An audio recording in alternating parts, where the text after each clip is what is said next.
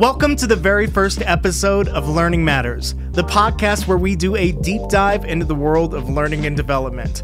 I'm Doug Wooldridge, and I'm super excited to kick off this journey with a very special guest.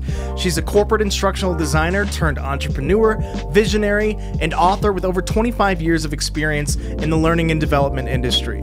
She's been featured in publications such as Training Industry, Chief Learning Officer, and ATD, solidifying her status as a thought leader in instructional design and adult learning. When this episode comes out, it will mark 23 years for the business she built into the powerhouse it is today. So, without further ado, we welcome Debbie Wooldridge, CEO and founder of TTC Innovations, to the podcast. Let's get to the interview. We want to welcome to the podcast Debbie Wooldridge. First off, I just want to thank you for agreeing to be our first guest on the podcast. I know your schedule is a little packed these days, uh, so thank you for coming on. And I'd like to take this opportunity for you to tell us a story of how you went from working as a corporate instructional designer to becoming the founder and CEO of TTC Innovations. Well, awesome. Thank you. I'm excited to be here. No pressure being the first guest. I mean, but it's, that's great. I'm excited uh, and thrilled to um, have this opportunity to just have a dialogue and talk about uh, how how people get to wherever they're going on their journey. So Definitely. happy to share my journey. Don't know whether or not it will resonate with other people, but it I think it will. It is my I, story. I think our listeners are in for a very good story here. So can we start with what got you into corporate learning, uh, the corporate learning space, uh, just to begin with? Mm. So. So, yeah, actually, I had zero background in instructional design and zero understanding of adult learning.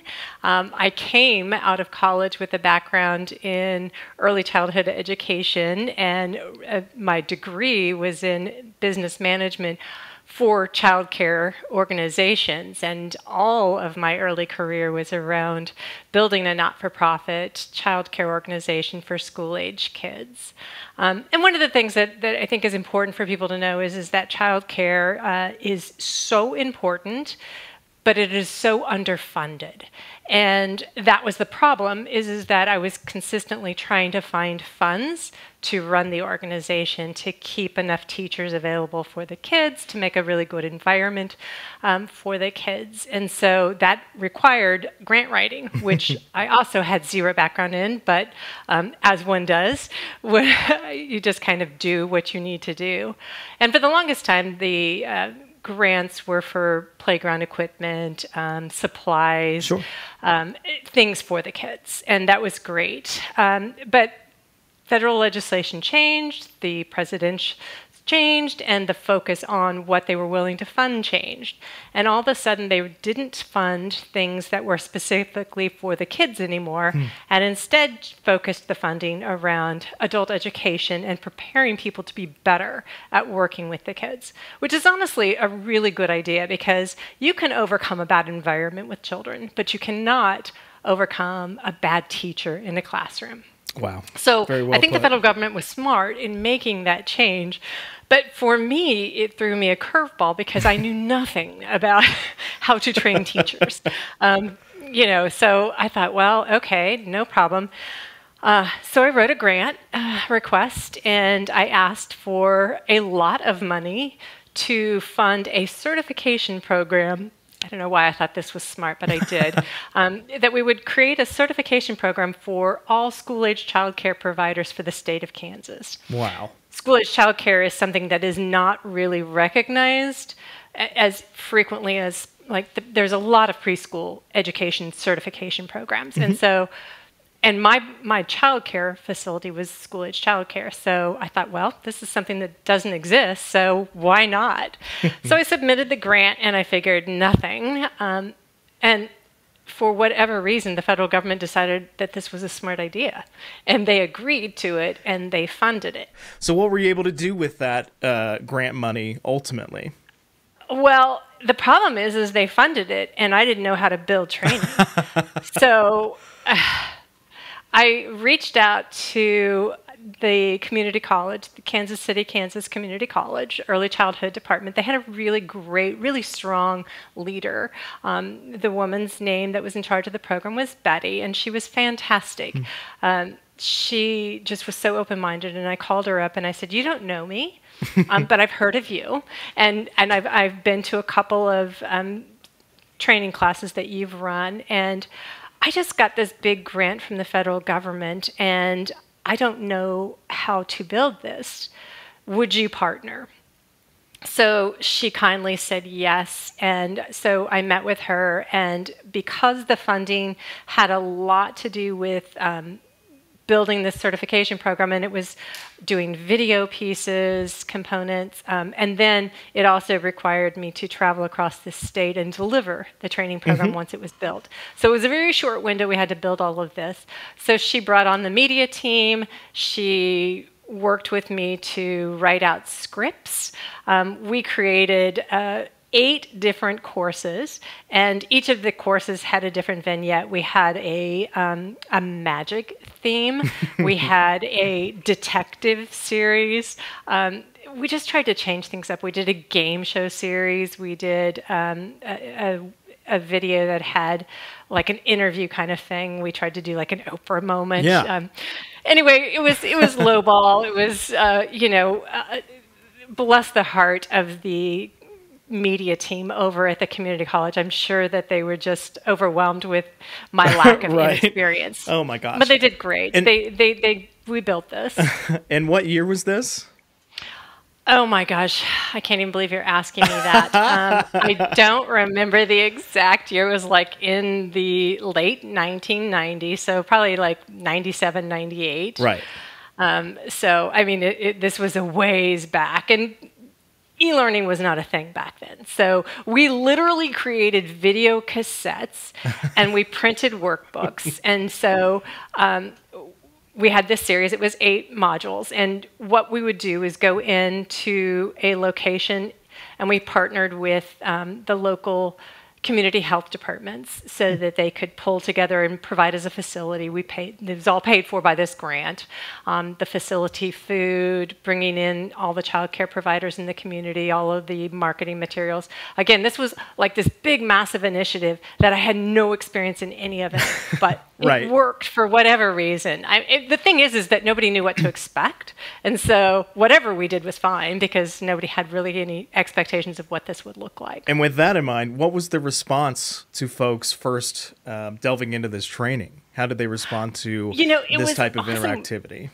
When when they came to the first session, um, ironically, um, my brother was working for me as at the time. He was my secretary of the organization collecting you know doing all the accounts receivables mm-hmm. and all of that for me and doing some computer work for me. That's kind of his bag.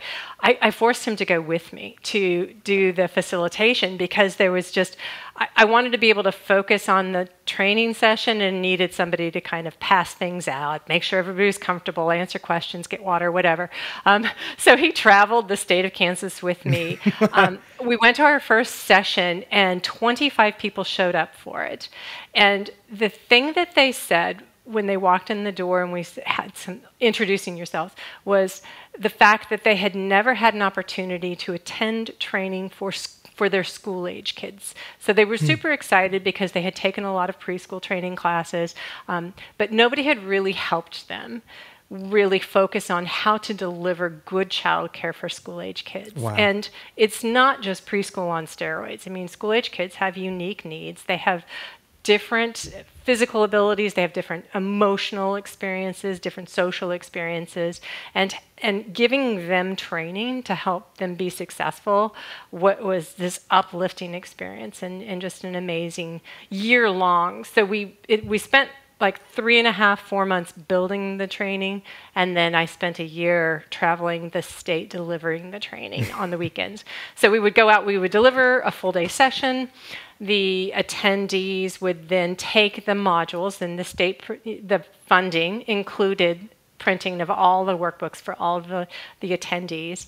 Um, we would deliver the workbooks to them, the, and they would get the video cassettes. Um, so they'd go finish the, the home, all the homework, and it would be the eight modules. I would send them um, a little piece of information kind of midway through to make sure that they were doing okay through their community health department. I would send them like check-ins, you know, mm-hmm. how you doing? How are things going? And then at the end of the series, we went back and they had we did an assessment of them when they when they completed it to make sure that they had taken the information and were able to do something that they had actually completed the course. And then we had these beautiful certificates that uh, John had created for them, and they were they were really it looked great for 1998 or 99. I mean, really, um, you know, things that were not as, as they are today. So those certificates looked great, and we yeah. framed them. I mean, we, we had good funding for this. Um, so it was just that, and all of a sudden, what I realized is is that while I loved working in childcare, this triggered this moment where when I was in front of these people in the audience who were suddenly so moved by having somebody care to make them better at what they mm-hmm. love to do. And that was the moment when I realized, you know, there, there's something bigger out there, something different that I want to do in my career. Um, but that's a big jump to say, oh, I'm going to suddenly become an instructional designer. I'm going to become. Actually, I didn't even know the term. I didn't know. Was the term even out called, there at that time? I mean, maybe yes, I think so, but but I didn't know anything. I didn't even know training departments existed. Right. I had no knowledge of the corporate world at all. However, take into I think it was like uh, 19, 1999. Yes. Um, I saw an ad in the paper for an instructional designer for La Petite Academy, which is was at the time the largest for-profit child care center. Mm-hmm. So I was so I thought, God, this is like meant for me because here's this corporate job that wanted me to write training for their child care workers, and so um, that was kind of that defining moment of where, and I left not for profit and, and took that passion and moved into corporate America. Um, corporate America being, uh, you know, a child care corporation. Sure. But it, it, definitely was that point that brought me into the world. And that's when I learned that there were jobs called instructional designers. Thank you so much for that. So, uh, you've gone from the nonprofit area now into the for profit and what was your job title at La Petite? What what was that job that you were actually applying for? So I was applying for it officially. The job was called instructional designer. Um, so I went in for an interview and um, I met with the director of training, um, and she was asking me about all of my experience. And so I tried to make the eight modules that I had built with you know, the unit with uh, the community college sound like this really a lot of hefty training, this two and two year project uh, funded by the federal government, you know, and she hired me. um, which, yeah, uh, so uh, when I, um, I had to do a 30 day notice. Uh, because I was executive director mm-hmm. of this not for profit, I had this board, and on it, I had started this not for profit. Yeah. So this was this was my baby, and to suddenly say I'm going to leave this and move on to something else, um, I wanted to give them a nice notice. So I gave them 30 days. I helped them find the new executive director. I did some training with that person, um, and stayed on call with them for a little bit. Um, so I didn't start work until about 30 days after I had received the job offer. Hmm. And I showed up to work the first day, and they told me when they when I walked in that the director of training had just left two days before. Oh my gosh! So I was now. no. so now I take on this brand new job that, first of all, I had no idea what an instructional designer was supposed to do on a daily basis. Um, but I took on this job and, and I didn't have a direct supervisor. She was gone. they assured me that they were going to be hiring to replace her. Um, but in the meantime, they set me at a cubicle and, and showed me my desk and yeah, showed me some of the training materials that they had for some of their people and gave me a course that they wanted that was supposed to be my first assignment to build.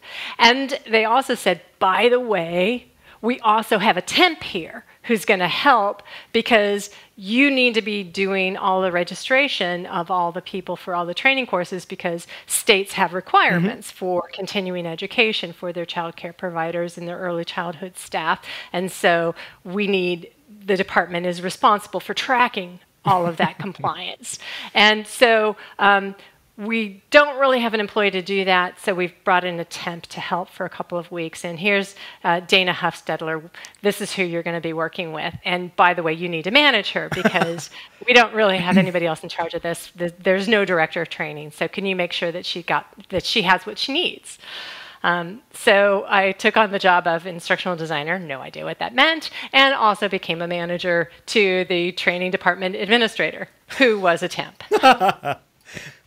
and so is there a moment during that first like two days where you got into your office and closed the door and you're just like i am way in over my head here well one i didn't have an office i had a cubicle which i never even i had i had heard people talk about working in cubicles and i knew that this was a thing um, but i never envisioned myself to be in a cubicle but i was so i'm sitting in my cubicle and I think it was like maybe four hours into my day. And I remember staring at my computer and I kept hitting the enter button because I didn't know. There was nothing to do. Like I had my email program open. I expected to come in and just have this wall of stuff that I was supposed to do. And, and so I kept hitting enter thinking, why is my email not coming in? Maybe, oh, maybe something. No. So I just sat there and I realized nobody's going to tell me what to do. I've got to figure this out. So I got up and I started introducing myself to other people in the cubicles. and um, I, I, did have an opportunity to meet the person who was in charge, the director of curricula. Mm-hmm. So she was in charge of writing and developing all the curriculum that was going to be delivered to the children. I was supposed to train the people to deliver that curriculum. Right. So I thought, oh, good, I'll talk with her and she'll tell me what I'm supposed to do. She had no idea what I was supposed to do, but she knew I was supposed to do something. Um, so we talked about what was going to be rolling out in the next quarter, and so I thought, okay, well, I'll write a I'll write a training program to introduce this to the staff. So I sat down and started writing stuff and and I scurriedly looking through all the different um, stuff that was in the director of training's office because she had an office. Mm-hmm. it was a nice office. The door was shut. So I went, went in there and poked around in all of her cabinets and her files and tried to find stuff. I found the template. Um, and it was out on a shared drive. So, which I, all of this was new to me. We basically used an accounting program and an email program at the child care mm-hmm. agency. Mm-hmm. I mean, we were not for profit. We didn't have anything fancy. Right. Um, so I get on here and there's like Microsoft Word and um, very old versions of Microsoft Word and, and a shared drive. So I'm hunting around the shared drive and realizing I'm probably not supposed to be accessing some of these files, but I mean, got to find what you got to find. Look, so, sometimes you need to just take the initiative and go find what it. you need to learn. just got to do it. So, yeah, so that was how my first week started at uh, my new role as instructional designer. Fast forward about a month later, they realized they weren't going to hire anybody, or they hadn't found anybody. Mm-hmm. So they came to me and said, "Hey." How would you like to take on the department and be the training manager? Um, so, wouldn't that be great? so I said, sure. What was your thought though when they when they came to you? When you when they first you know, walked in and said, "Hey, Debbie, um, got a proposition for you here. What do you think about taking on this department that is kind of in flux right now as is?" Influx is a very kind word for what it was, but you know, honestly, I was so relieved um, because when I, I, I started the not for profit agency, I had a board of directors. We met with them once a month. I reported to them once a month. Hmm. But there was nobody over my shoulder telling me what to do on a daily basis. I think had I come into the job and that director of training would have still been there, I think I would have really struggled because I think it's not within my nature to work that closely under somebody's supervision. I'm not really great at um, waiting for somebody to tell me what to do. I kind of just do. And I don't know that that's necessarily the best employee type to be. So, so I don't know that I would have been the department head's favorite employee because I think I just do. And so for me, it was a big sense of relief hmm. because I felt more comfortable with that. Because then I felt like, okay, now I can shape this department. I can I can do what I think needs to happen. And and I had been doing a lot of interviewing with. Um, they had area vice presidents vice presidents who were responsible for big sections and these were these people answered right to the CEO so these were important people in the organization. And I had got to spend a lot of time with them in this first month, meeting with them because they were in the corporate offices. They had we were in the middle of a CEO change hmm. in the organization. And so they were there, and I had used that opportunity to meet with them and talk with them about what was going on in their areas and what were the, some of the challenges and the problems that their staff were facing. And so I was gathering a lot of really good information. And what I didn't know that that was called is analysis. I had no idea. I thought I was just asking them a lot of annoying questions. These are your first subject I, matter experts here. The, exactly so. Okay. So what I uncovered during my analysis is there was a lot of need, mm-hmm. um, and and it was this really great natural learning progression for my own experience as an instructional designer. That's crazy. So ultimately there's just from the start there's massive changes going on in this uh, mm-hmm. company and uh, not only did your original manager not be there during the uh, beginning you're also having a brand new ceo come in so mm-hmm. what is mm-hmm. it like dealing with that type of chaos of a company going through a reorg i, I tell you um, it was for me the most impactful experience, and, and unfortunately, not in a good way. Mm. Um, because what was happening with the organization is they had had a CEO who had been with the company for a really long time. And he was super committed to the children and the families that he serviced. He was so committed to the employees. And it was this very warm and welcoming environment that I interviewed for. Hmm. And my first couple of weeks were this warm and welcoming experience, and, and people made me feel very comfortable very fast, which was great because new person, no manager, I needed that type of support. And then the winds changed, and he retired, and they brought in a new CEO. The board uh, of that um, for profit agency brought in a new CEO with the purpose of making the company more profitable, hmm. more efficient. Um, and, and there are CEOs who are hired specifically to go from company to company to company, and their job is to come in here, create change, make all kinds of different strategies, do an an efficiency audit and then implement a lot of change and then they move on mm-hmm. and then they bring in a new ceo so it, it, was a very planned experience that the board had put into play. The problem is is this is a organization uh, company that is supporting people. Right. The output of what they're doing is taking care of people's most important possessions their children. Mm-hmm. and so when the leadership of that organization doesn't represent the level of service, care, and nurture, you have a lot of chaos happening. And in some companies and in some structures, that chaos might be good. It might be the fire to light people up. Um, in this situation, it definitely was not.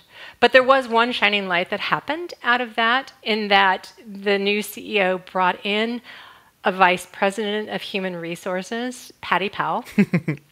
my all-time favorite person in the whole universe. And, and, if I could ever aspire to be so great, I would be Patty Powell in my, my next life. She's this amazing person. Um, she came in with the new CEO, and she um, sat in and, and, really took the time to get to know me, got to know my vision of what I wanted to do with the training department. Um, and, and, ironically, one of the things that I had to do as training department was to send everybody to this executive leadership back to nature moment kind of thing. I'm sure you've very fun. You know, there's these retreat centers. Okay. You actually go up into the mountains. You stay in a cabin. It's very rustic. There's no email. There's no phone service. This sounds right and my up my alley. Yeah, you wouldn't enjoy it. so um, my job was to book people into this, and I had to organize them based on there was a tiered level of who who was expected to go. So you know, first tier was the CEO and and the VP levels, mm-hmm. um, the area VPs. They all went as this first group. And then I was scheduling the next group, and I was supposed to be in the next group, but I was busy, so I didn't. did, I wasn't able to schedule myself. so I kept putting my name further and further down the list. But anyway, they come back from this retreat, and um, I could see some differences in Patty.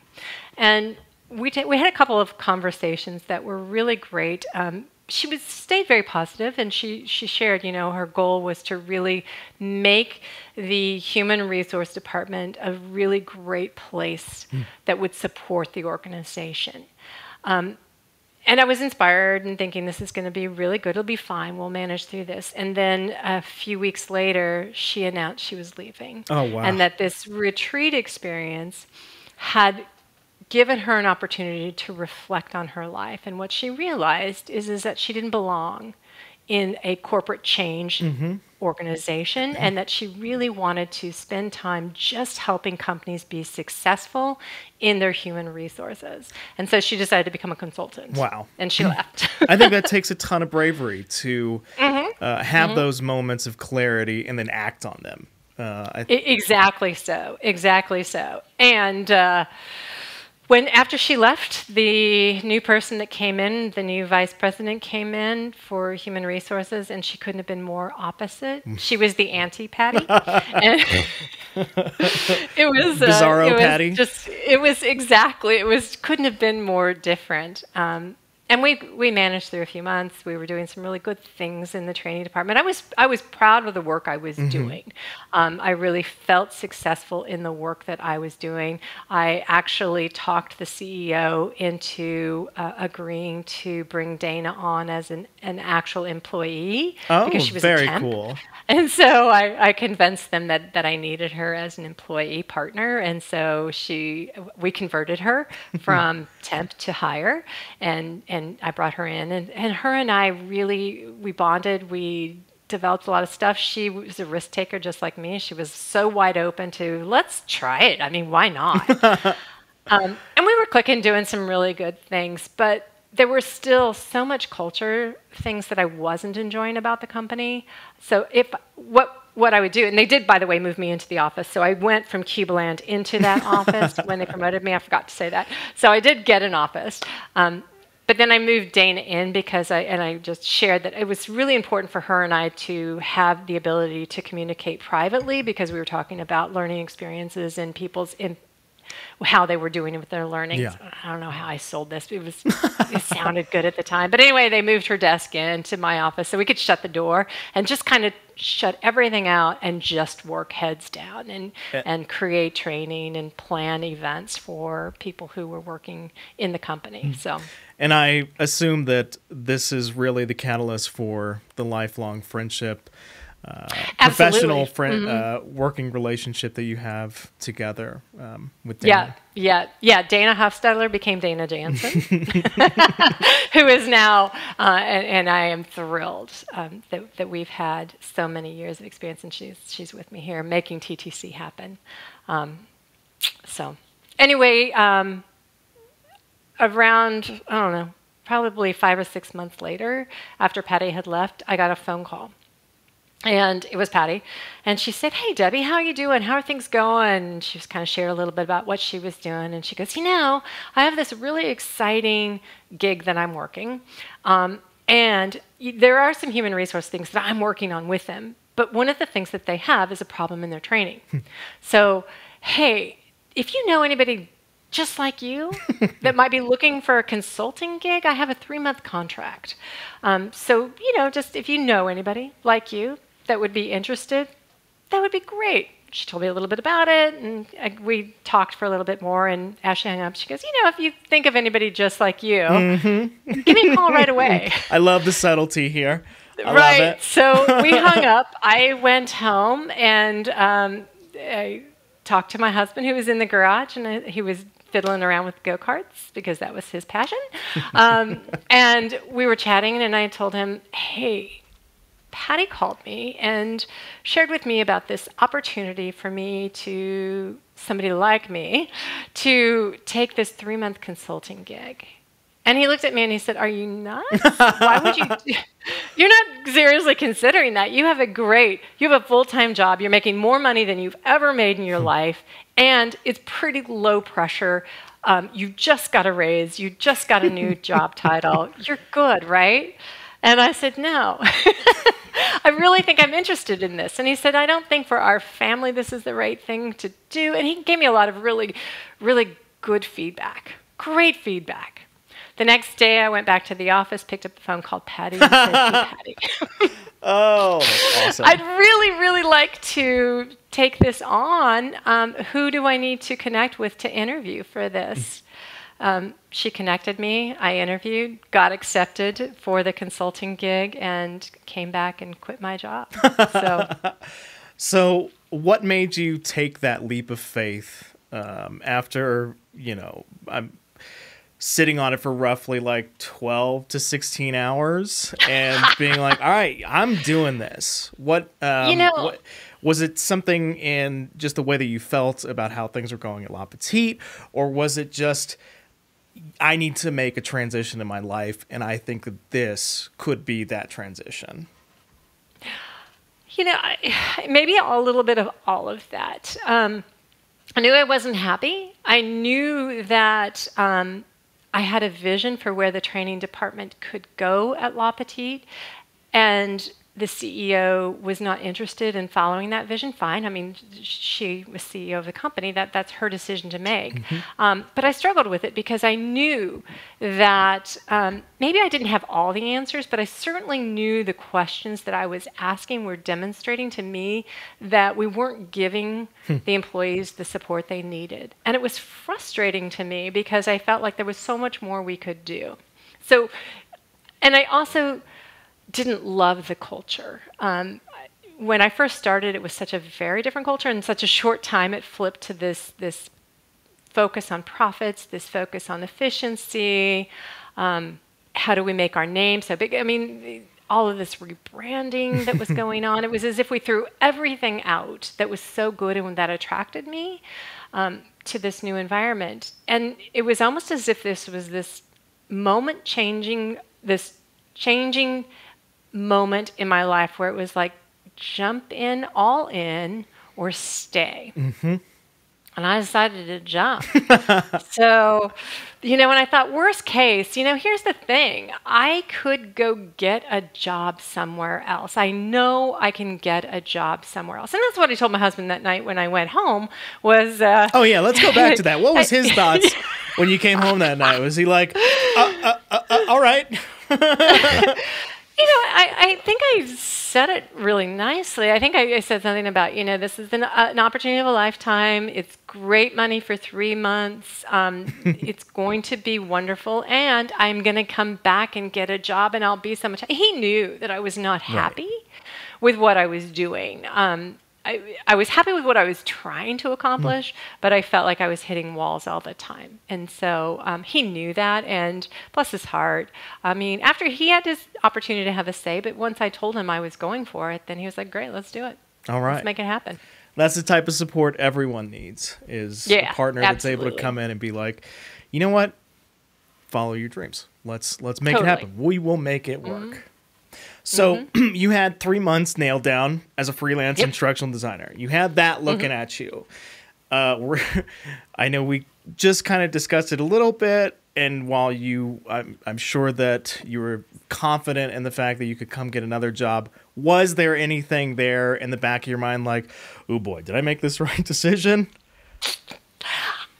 You know, yeah, no, I yeah, I never thought it wouldn't work. Never. I love that. I never confidence. thought it wouldn't work. I love it at all.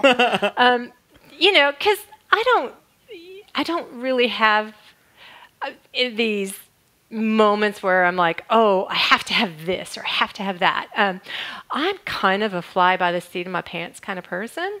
So, I, in fact, thinking through and planning out where I see myself six months from now is probably a weakness for me. I'm hmm. not great at that, which as a CEO of this company can be a challenge because while in my head I have a strategy, putting it on paper is a challenge for me. And so, you know, back in those days, it was it was I never thought that there wouldn't that it wouldn't work. Hmm. So I'm a big believer in uh things are going to work out, you know? Mm-hmm. Uh, with mm-hmm. good you know, with good vibes or at least a commitment to uh continued hard working something good's going to come out of this. So we'll just see what happens at the end of the show.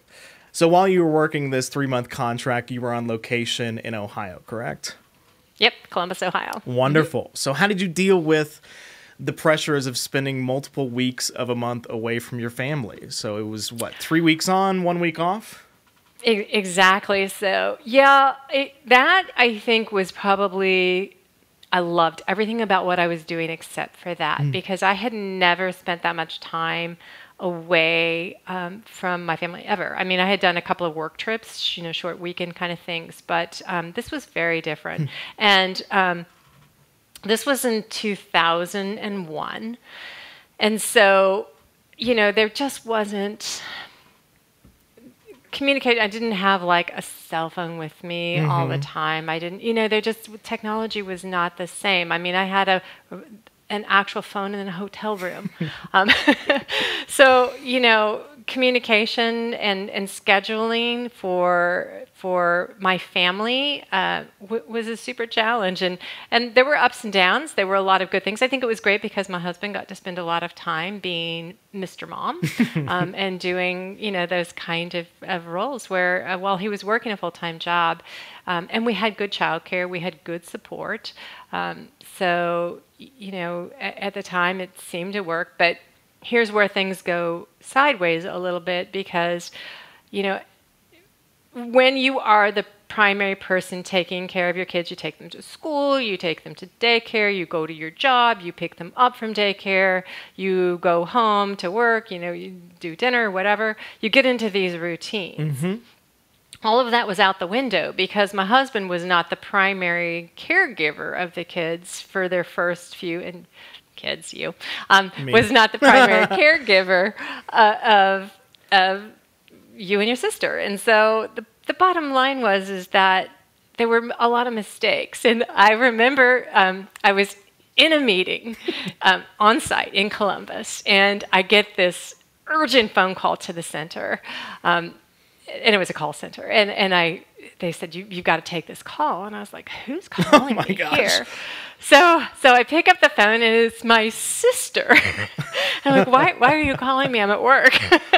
and she goes, yeah, I'm notifying you that your children were left at school and then there's a no school day because it snowed. And the school had to call me because I'm your emergency contact. I'm at work. I can't pick your kids up. Could you get a hold of Chris and tell him to pick your kids up? So he didn't know that you know school gets canceled occasionally and he didn't know to check the weather reports and he dropped the kids off. And this actually happened more than once during look during this experience. it was it was a great growing experience for jessica and i. Ultimately we get to have that wonderful moment uh, with her children where we get to go, well, back in our day, we used to walk to school even if we didn't have school in the snow, uphill, both ways. yep, yeah. So, you know, there were little glitches like that, but uh, but we made it work. we made it work. And, and, you know, and then when I would come home for the one week, I, I was still heads down, though, because I was having to write. Yeah, I would spend three weeks sitting doing side by sides at the call center, mm-hmm. watching the activities, um, hear, listening in on the phones to hear how the customer service reps were interacting with customers, and then um, because I was rewriting a new hire training program. Wow. For them, so then I would come home and I'd spend a week, you know, just heads down writing. Um, and then go back. And was that your first experience really working from home there? Or were you working in yep uh, you were working no, from home I, during that time. You're just during the week. Yeah. Mm-hmm. It was so weird not to go to an office because I had spent my entire career up until this point in an office mm-hmm. somewhere. uh, so yeah, I didn't even have any. I didn't even have a desk. I had no workspace. So I was on my living room couch and I would have like piles of paper and this humongous laptop. you can imagine what laptops were like in, in 2001. Oh, yeah. Um, and uh, my internet was a phone cord it was plugged into the phone and you had that yeah. noise that you get when you were signing into dial-up but I didn't have a phone near where I was working, so we had like this 50 foot phone cord that you could that was plugged into the telephone. We'd have to unhook the phone from the phone cord and plug in my computer so that I could get online. And no one could make a phone call in or out of the Nobody. house. Mm-mm. No, if, and, and if you guys, if it had a snow day, we would not know. They would have to call my sister because you could not dial in because you'd get a busy tone. Very funny. So you've you've finished these first three months uh, working with, I believe the company Submit Order. Is that correct? Yeah, yeah. So the company was Submit Order, and it was at the beginning. Um, they formed at the beginning of the dot com era, mm-hmm.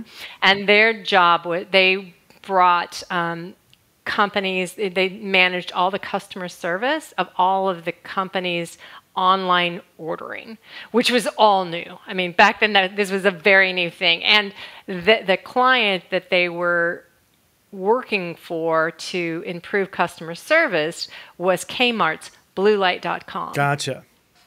Mm-hmm. And so I was writing all of the new hire training for bluelight.com. so I was learning all of Kmart's processes and procedures, all of the the stuff. And the job of the customer services was when people placed an order on bluelight.com dot com, then they would call and, and have issues or whatever. I mean, you know, the internet was not what it is today. Right. So I can just imagine was, chaos in the shipping centers. Right? Oh my just goodness, with customers yeah. being like, I just got I, I ordered this and I got this. Uh, right. I imagine that happened mm-hmm. all the time. All the time. Which mm-hmm. I would also imagine would mean that the training was constantly evolving. So, is that yeah. ultimately what led you, you to sticking on for a much longer contract than the first three months? Yes. So what happened is, is I delivered the training for BlueLight.com, and, and we ran a couple of new hire classes, and, and so I sat in the back. They had a facilitator that worked for the company, and, and I had to go to Florida to, to watch the classes and take notes, make changes, adjust the curriculum based on what I was seeing with the new hire interactions. Um, but within the first couple of months of deployment, they had such a dramatic increase in speed to proficiency of the new hires that were taking part in this new curriculum. When I first got there, and what they were doing before they brought me on board was they had purchased some off the shelf customer service training. Mm-hmm. It was okay. It had talked about how to speak nicely, how to be empathetic to the customer. The problem is, is it had nothing to do with bluelight.com. Hmm. So, you know, I took those basic customer service principles, but then I embedded in the culture of of, of Kmart's bluelight.com. And so when the new hires got promoted and worked on the floor, the time for them to have side by sides was decreased by almost two weeks right away. And then their, the, so the proficiency was immediately wow. impacted in, in, demonstration. But then I think that that is um, I'm a great instructional designer. it's not that. I, honestly, it's when you build training that is relevant and is relatable and immediately usable you become better as an employee quicker. And that's what they got with the custom learning solution that I built for them. And so what happened then is submit order was a, was the housing firm for all of these but they had other clients that were using their call centers and so they then brought me on to dix.com um, and what was the most cool though was that, and this is where my daughter Jessica thought I was just became the cool mom, was when I got to do Limited Too. Oh so, my gosh. That's right. So, Right. So I brought home when I would come home, I would bring home all of these manuals that had Limited Too logo. Oh, she was thrilled. She so was thrilled that, at the cool. the least interesting swag that you could possibly bring into. That's awesome. Just anything that had the brand right. name on it. I love it. Yeah, logo. exactly, exactly. So yeah, so I ended up working for all of their logos mm-hmm. then, and I rewrote all of their training. Um, many of the pieces were convertible that I could take from that I built from Blue bluelight.com, and then I would customize it for each specific company mm-hmm. and their culture, their organization. Um, and it was super effective. It was a lot of fun. It was something completely out of the box for me. So, but you mentioned distribution. And that's where this chapter went next, is because the um, once we got done with the call center, they um, said, "Hey, you know, we have problems over in the distribution center because Submit Order also owns the distribution centers." Mm-hmm. So I got my first glance behind the scenes of a distribution center, and it was fascinating. I mean, these machines just bringing stuff all over, and I learned terms like picker and, and, how important the job of the picker is. um, but they brought me over to the distribution center, and that's where I met Lori Fry. Um, she actually worked for Submit Order, and one of the reasons I was there doing the instructional design was because she was home. She had just had a baby and took a lot of time off to be with her her daughter, and it was lovely for her and fantastic for me.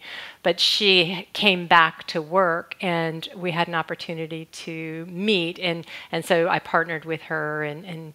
Um, she was in essence my new boss there because you know she owned the training department mm-hmm. there for submit order. So who was who was ultimately in charge of the training department while she was gone? Was it you? You were kind of just sitting there attempting to no, take that on, or no, not at all. Yeah. I was focused only on the instructional design. Um, Fran Watkins is the was the um, HR lead, and so she was just managing all of those components in Lori's absence. But gotcha. Lori would have been there doing the instructional design had she not had a baby. So it was kind of just magic that this happened because she would have been in there doing all of this had she not been on maternity leave. But because she was, it was this opportunity for me to step into this corporate world. So very cool. You know, it was a real blessing. uh, and she's just this amazing person. And um, not only did she work as at Submit Order, but she also had her own company called Technically Right. And Technically Right was a contract house, and she had a group of technical writers and um, technical team members who she would farm out work to consultants to do that work. And it was kind of her side business, her side gig um, that she ran. And so. And can you. Uh let me rephrase this. um, can you give us a ah, can you give us a brief rundown of kind of the difference between instructional design as opposed to technical writing?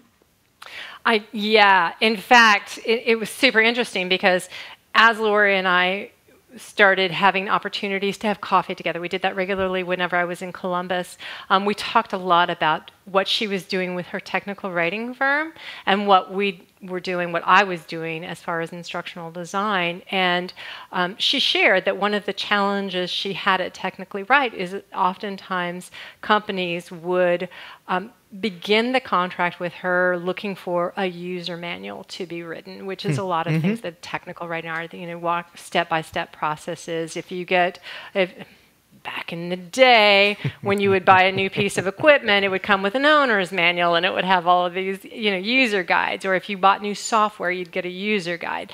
Um, so technical writers do a lot of that kind of work. They do a lot of job aids um, a lot of process documentation and then what would happen is, is they would, especially these companies that were implementing new systems, they would get the user manual and realize that there was still a gap for their employees. So they would have the information on step by step, but there was no correlation between how did this how did I then use that to do my job? Mm-hmm. And so they would ask her, you know, what kind of support can you do? Hmm. And my contract at the distribution center was wrapping up. And so she said, hey, I have a company that is really looking for more of a training solution versus a technical solution. Would you be interested in contracting with me and with my company? Um, and so that's how I connected with Technically Right, and I became their one instructional designer. So all of the other team members there were technical writers or technical documentarians. Um, or page layout people as well, and then they there was me. Sounds like a perfect partnership. Right? Yeah, yeah, it worked great. Wonderful, and um, At what point uh, did you transition from doing uh, contract work with Submit Order into doing uh, leading seminars for Fred Pryor? Mm-hmm. So, as my work was was coming to an end with the distribution center, um, I realized, gosh, I got to find my next gig. and while Lori had reached out to me, the work that I was going to do for her was really small.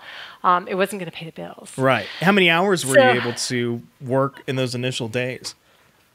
Oh, I was working, gosh, probably 50, 60, 80 hour weeks. I mean, I was booking a lot of time.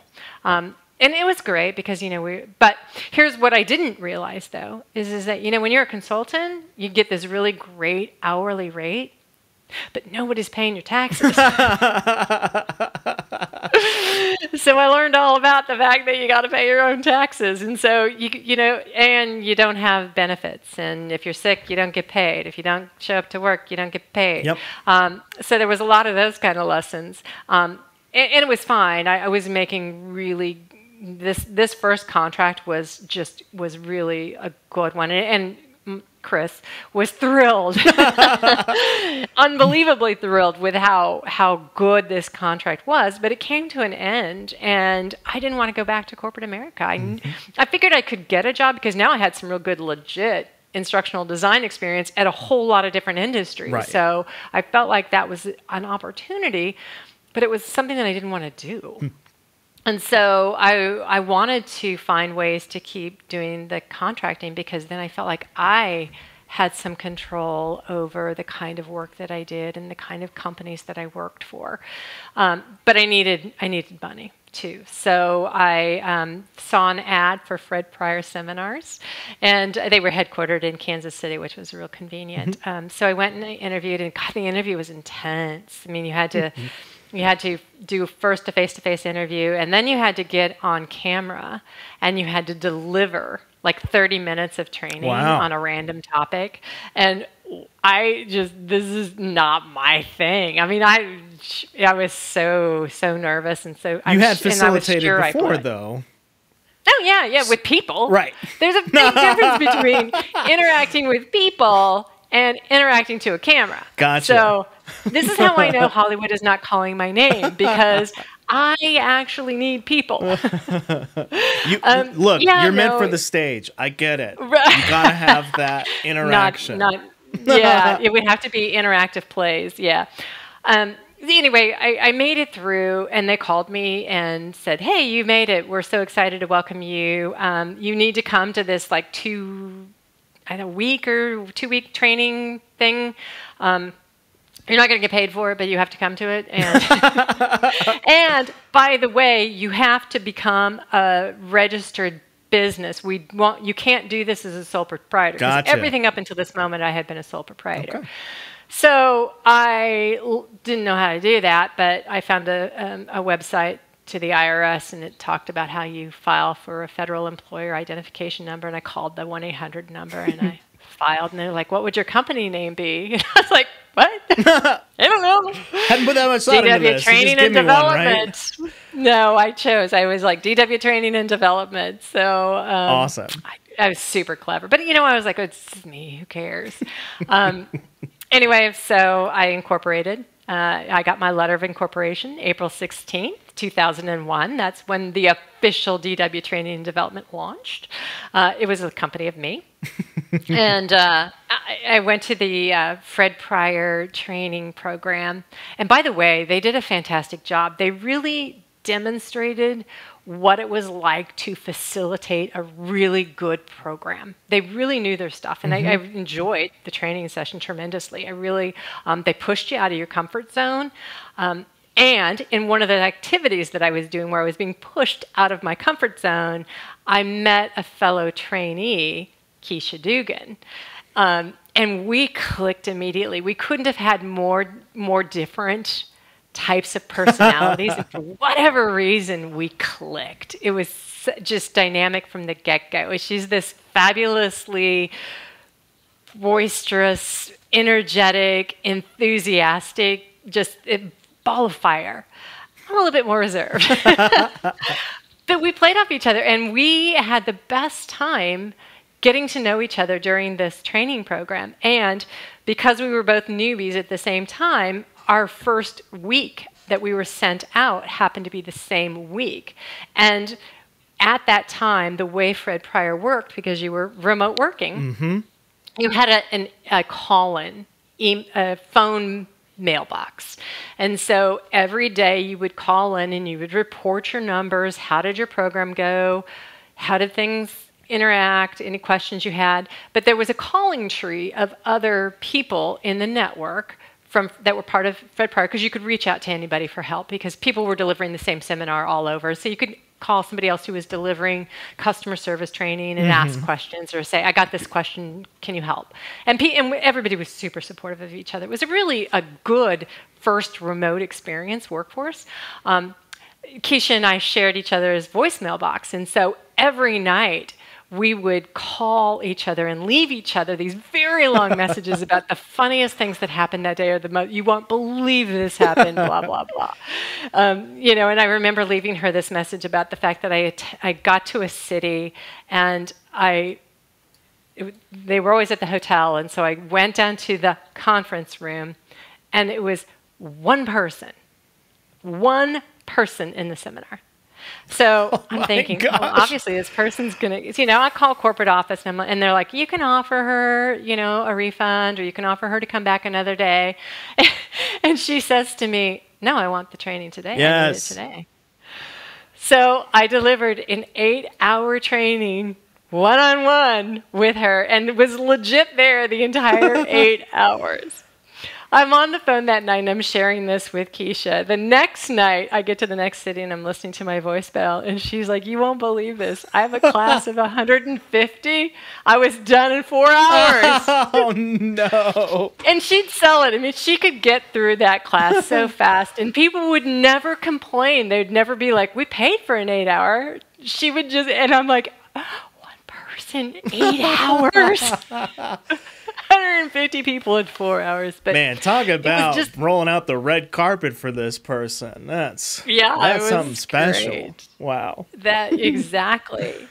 the beautiful part about that, though, is is that Keisha and I really formed this bond of, of professionals who are sharing kind of some of the same issues, but in a very different experience. Um, so.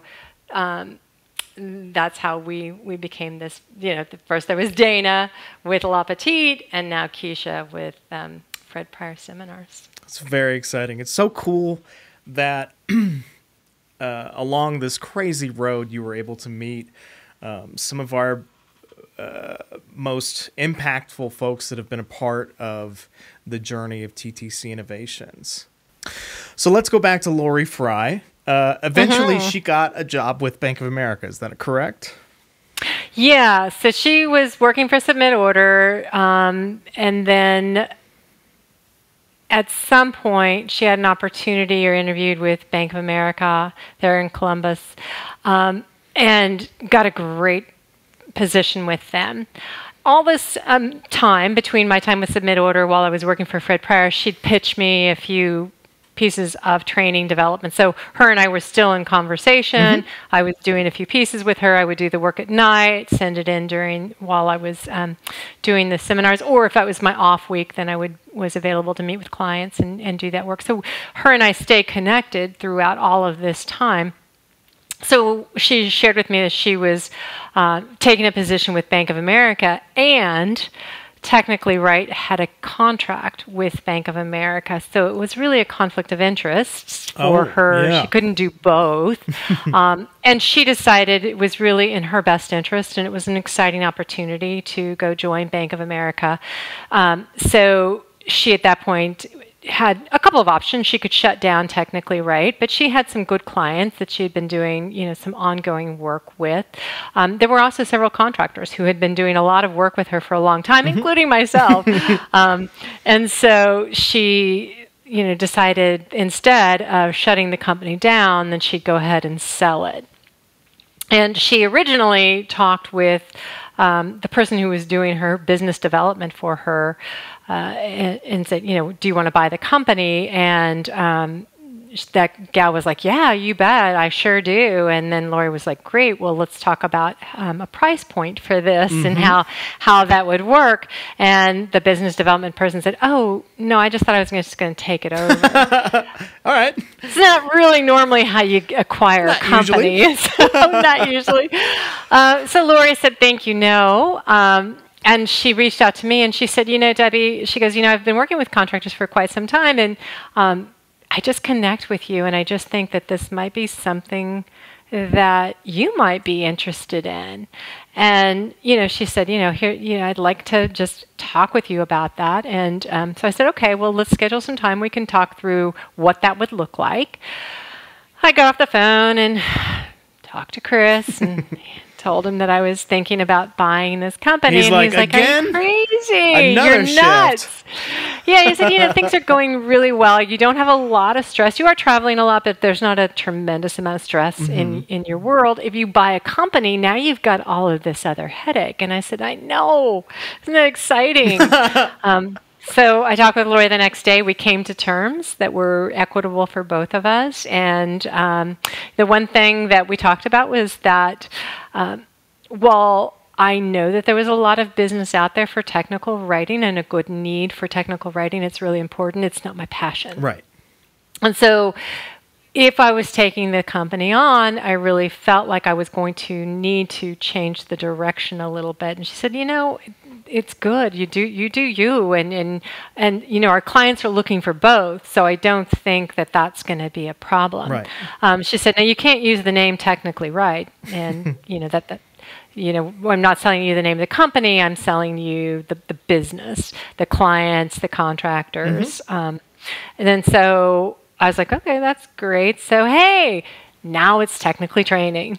Uh, and because it was still the dot com, I thought it was so clever.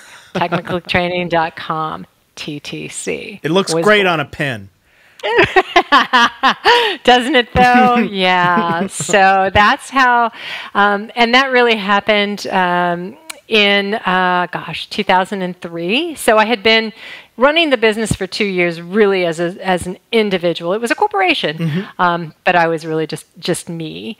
And then in 2003, when I um, bought the company of Technically Right, became Technically Training, that's when we really became a business and I brought on contractors that had been part of that group. I also started building some of my own contractors because training was my area of interest. Mm-hmm. And this is how I had a wonderful opportunity to convince Keisha that she would be this amazing instructional designer as well. She had such a creative mind and she's so brilliant at knowing what people need uh, and how to get learners there. Um, and so she said, "You know what? I've never done that." And I said, "Well, let's just do it. I, will I'll I'll review your work. I'll I'll fix it and make it instructionally sound or whatever. But but Keisha, you're brilliant." Um, and so she took on one of my first projects, which was a Bank of America project, um, and helped me do some of the instructional design work for it. And, and gosh, that just really kicked off our relationship with Bank of America. I think that's one of the most impactful and inspiring aspects of what makes a great leader is someone eh, who is able to see the potential with the Keishas of this world and be able to bring them under their wing and ultimately allow them to prosper and and in all honesty make some of the greatest uh, impact again for this organization over the years. So yeah, this company would not be the company it is today had I not really utilized and leaned in to the talents and the energies of, of those original team members. Um, we took on several contracts with Bank of America, and, and I'm proud to say that since 2003, TTC Innovations has had Bank of America as a client. Um, and, and I think it speaks volumes to the quality of the people and the trust that, that Bank of America can have in our organization and our team members um, because we have a group of people who truly care about the outcomes for the learners. And that's where the focus has always been. Hmm. Um, Bank of America was a great partner, and um, they were using a tool called Knowledgent at the time when we first started contracting with them for their e-learning and so you would create these modules in knowledgeant um, and bank of america was such a good partner that they actually in a, and arranged for knowledgeant to deploy the tool on our server at Technically Training really? at the time Technically Training. Mm-hmm, they installed it on our server because you had to build the training mm. On the tool, and so I would have our technology developers would VPN to the server in my basement. Connection was horrible. they, they were. I could see them working on the screen, and it was just a mess. so um, but one of the pieces of Knowledgeant was this tool called Virtual Customer, and the bank had adopted this tool for e-learning specifically for Virtual Customer because it gave them an opportunity to take a recording of an audio of a, of a phone conversation and and then program a simulation of the system. Hmm. And so it was kind of uh, one of those very early stage simulation tools. So you had to go in and to all of these triggers in the virtual customer system. Wow. And this is how Dana came back to become part of our team. Um, I had had her do a couple of other page layout things for me, um, but that was really small and there wasn't a lot of work. But Virtual Customer gave me a reason to really embed her and, and have the opportunity to work with her a lot. And because it was on my server, it was actually easier for her to come to my house and work on on the server directly. So that's when she started coming to work with me a couple of days a week, and she would do programming in virtual customer. She's self taught. Wow to build in virtual customer. I mean, the tool was just a, a, a pretty clunky system, but it worked. Yeah. You know, it created the training. It worked. Well, I think some of the um, best uh, origin stories for companies, uh, a lot of what makes them so impactful, so successful, is that you get to work with your friends. Oftentimes, exactly. You, you get to choose. Yep. Mm-hmm. Mm-hmm. And, and, I really, I, I, had my brothers working for me. Um, my youngest brother still works for for the company as one of our contractors. He, he, you know, he he's the kind of guy that you give him a online tool or something, he'll figure it out. and so, you know, throwing different tools at him, he was like, great, and he'd figure out how to use them and build solutions. So he's he's been our, one of our web. At the time, it was web learning, and now e-learning. Um, he's been our that with us since really the beginning. He mm. was one of our first technology team members. So it's it's been a, this journey. So it was a very small group of us to begin with, and in 2003, um, that's really when we became a company. And you know that first year, we if you take the dollars from April to April, which is kind of when we had our first funds come in. Um, from April to April that first year, we brought we had seven hundred thousand dollars in sales. Oh my gosh! I, I had no idea because Lori had shared with me like their I think their biggest year many years ago had been around seven hundred thousand. She said, but the average year was three hundred to five hundred thousand. Wow, so that is absolutely incredible. It was that moment in time, though, because if you think about that time period, that's when e-learning really hit web-based training yep. at the time. Um, but it was really becoming quite a thing, and companies didn't have internal hmm. resources who could do that. So at the end of that first fiscal cycle, we had a seven hundred thousand dollars in business, and the and then one year later, we were over the million dollar mark. Oh my so, gosh! Well, and I would have never guessed that. Right. so I think that that is an incredible place for us to stop. You have the players all in line. You've got a successful first fiscal year. The road is laid out in front of you guys. And I think that this is a great place for us to maybe take this to a part two where we go into that second year um, and some of the trials and tribulations, some of the things that you learned, uh, some of the failures maybe, and of course the successes that led to a very successful second year. So uh, for this podcast, I just want to thank you, Debbie, for coming on. We will continue this conversation uh, because the story well, it's never ending, uh, ultimately. So we'll get into a little bit more about the history of the company, and then we'll talk some more about what the actual state of the company is right now, some of the exciting things uh, mm-hmm. that you have to share for us uh, about the current state and then the future of what TTC is going to look like. So, again, thank you so much for being our first guest here. Um, and couldn't be happier with with sharing this moment with you. Oh, thank you. This has been so much fun. I, it's it's funny to remember all of those moments. So I appreciate you listening to my stories. Of course, you're a great storyteller. So uh, we want to make sure that we can capture that and and gift this story to the world. Tune in to part two to get the rest of the story of Debbie Wooldridge and her growth as a CEO and entrepreneur. For more great insights, join our newsletter, The Buzz, to keep up with what's trending in the ever changing world of learning and development. Catch new episodes every week, like and subscribe wherever you get your podcasts, and I'll see you next time.